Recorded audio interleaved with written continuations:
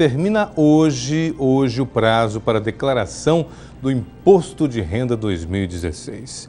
Vou mostrar imagens agora aqui para você. Olha lá, esta é a agência né, da, da Delegacia da Receita Federal aqui de Mato Grosso, onde nós vamos ao vivo agora para falar sobre os novos, sobre esse prazo que está terminando hoje.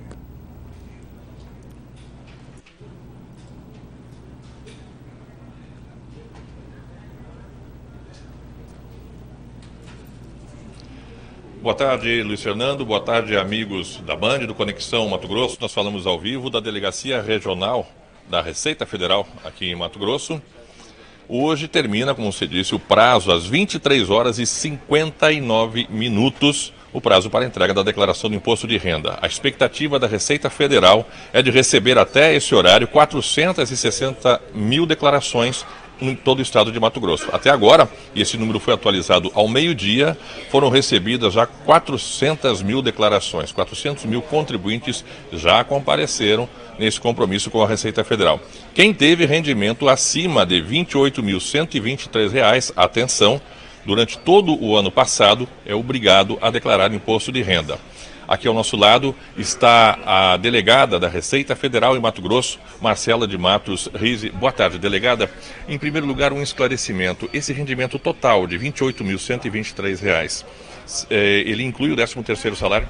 Sim, inclui o 13º. É um rendimento total anual tributável para a apresentação da declaração do imposto de renda à pessoa física. Quanto a essas 400 mil declarações já recebidas, estão na expectativa da Receita?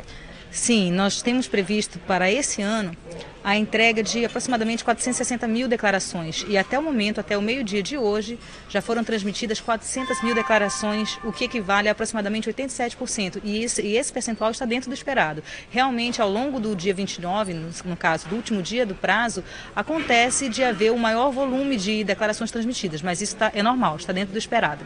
Agora, quem não conseguir declarar até esse prazo de 23 horas e 59 minutos, cai na multa de qualquer maneira, não tem outra chance. Sim, se estiver obrigado a declarar e entregar após esse prazo, irá ser obrigado ao pagamento da multa por atraso na entrega da declaração. E qual o valor dessa multa? Ela tem um valor fixo de R$ 165,74 para aqueles casos em que, por exemplo, não há saldo de imposto a pagar ou há saldo de imposto a restituir. E para quem teve imposto apurado na declaração, imposto devido, essa multa é de 1 a 20% total desse imposto devido. O máximo, então, que pode chegar é 20%. Sim. Agora, houve um aumento de quanto na, na, no percentual de contribuintes em Mato Grosso do ano passado para este ano, delegado? É, que entregaram no prazo, o esperado é um aumento de 3 a 4% em relação ao total do ano passado, que foi de 444 mil declarações, e para este ano nós esperamos 460 mil, ou seja, aí dá em torno de 4% de aumento no número de declarações a serem transmitidas tempestivamente.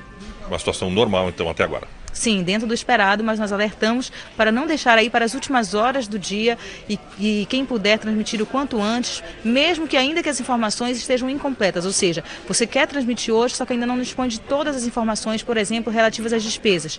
Corra, transmita hoje e após o prazo a pessoa pode apresentar uma declaração retificadora que vai substituir a original e assim evita a multa.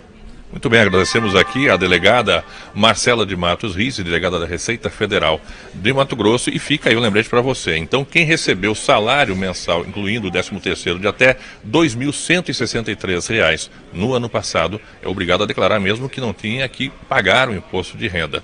E a deixa é essa, evite deixar essa declaração para o final do período, porque pode haver problema de transmissão na internet, enfim, você acabar não declarando o seu imposto de renda. É com você, Luiz Fernando. Obrigado, Rogério Andreata. É isso aí. A minha declaração eu já transmiti na semana passada. Porque também tem um detalhe, né? Opa, olha a hora.